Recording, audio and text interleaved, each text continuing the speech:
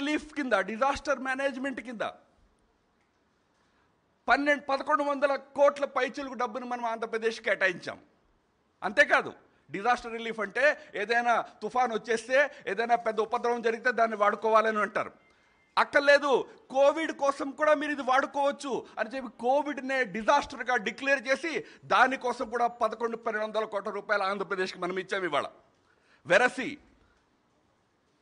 ఈ ఏడాది నలభై ఐదు వేల కోట్ల రూపాయలు దాదాపుగా కేంద్రం నుంచి ఆంధ్రప్రదేశ్కి లభిస్తూ ఉన్నది నేను ఎందుకోసం చెప్తూ ఉన్నానంటే వేరే ప్ర పార్టీ ప్రభుత్వ అధికారులు ఉంది అని చెప్పి ఆంధ్రప్రదేశ్ పట్ల ఎటువంటి వివక్షతని కేంద్రం చూపించడంలే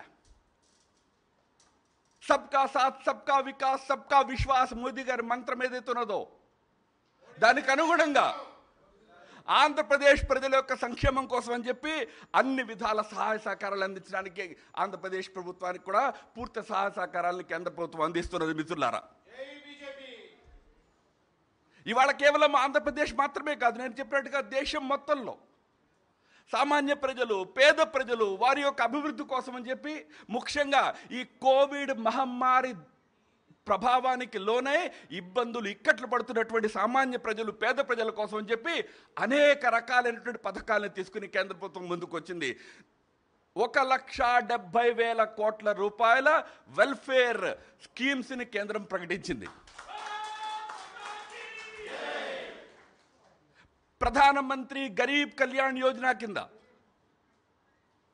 ఈ లక్షా డెబ్బై వేల కోట్ల రూపాయల ఏదైతే పథకాలను కేంద్రం ప్రకటించిందో దాంట్లో ఆంధ్రప్రదేశ్కి తెలంగాణకి ఈ రాష్ట్రాలకు కూడా అనేక రకాలైనటువంటి సహాయ సహకారాలను కేంద్రం అందించింది మిత్రులారా. ఇవాళ ఆంధ్రప్రదేశ్లో కానివ్వండి తెలంగాణలో కానివ్వండి పేద కుటుంబాలకి అదనముగా రేషన్ బియ్యము అదనముగా రేషన్ పప్పులు అందుతున్నాయంటే అవి మీ రాష్ట్ర ప్రభుత్వాలు ఇస్తున్నవి కాదు. అవి కేంద్రము నుంచి ఏర్పాటు చేసినటువంటి వ్యవస్థ కింద రాష్ట్రాలకు లభిస్తున్నటువంటి వ్యవస్థలవి. ఒక లక్ష ముప్పై నాలుగు వేల టన్నుల ఆహార ధాన్యాలు ఆంధ్రప్రదేశ్ లభించాయి లక్ష ముప్పై నాలుగు వేల టన్నులు లభించాయి.